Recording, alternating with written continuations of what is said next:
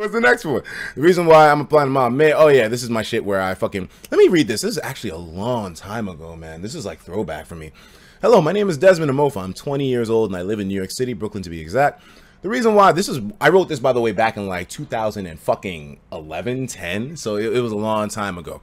The reason I'm applying to Model Mayhem is because I want to make an attempt to test my own potential and pursue modeling. Many have recommended this to me. However, my main issue was that I had absolutely no idea where to begin looking. Although I'm entry level, I feel confident in saying I could do multiple roles and have quite a strong presence when I enter a room. Listen, niggas telling the truth there. You know what I'm saying, bro? Let's be real here. Your boy's an attention grabber. I, I just do it naturally. I came up with the Wakanda necklace. Niggas are like, oh shit, my king. Let's keep reading.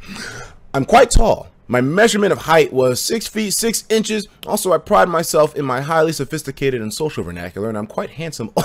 Did I really write that? Oh my god. Oh god. It, it, makes me cringe when I talk about my good traits because I personally am a believer now. Maybe not back then, but I believe now. You don't talk about what's good about you. You, you just be you. People detect what they want to think.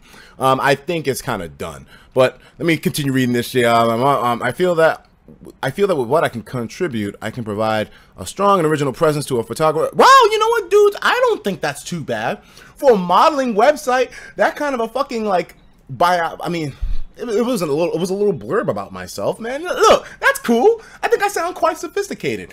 I read that now, and I would be like, hmm, this sounds like a upstanding young man. Let me let me hire him for a shoot. Let me hire him for casting. You know why? Why not? y'all always want to talk shit about it, but in reality, y'all motherfuckers see I, I was working, and that's how your boy got to where he is now. Not really.